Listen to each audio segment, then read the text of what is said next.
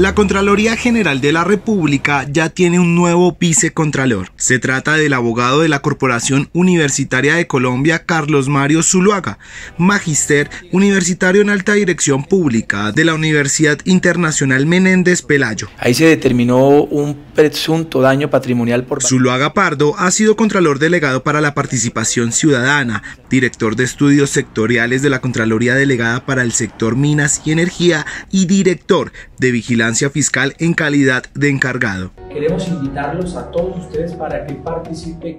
Además, el atlanticense fue asesor de la presidencia del Senado y asesor del Congreso de la República en la Comisión Quinta estuvo vinculado a la gobernación del Atlántico como secretario del Interior, secretario de Educación encargado y gerente de Capital Social puedan ser reconocidos en 10 categorías. Dentro de las tareas designadas por el Contralor General de la República, Carlos Hernán Rodríguez, es revisar todas las herramientas del control fiscal para que sean más eficientes y aplicar mano dura contra los corruptos. Carlos Mario Zuluaga aclaró que no es cuota de partido político alguno ni del gobierno.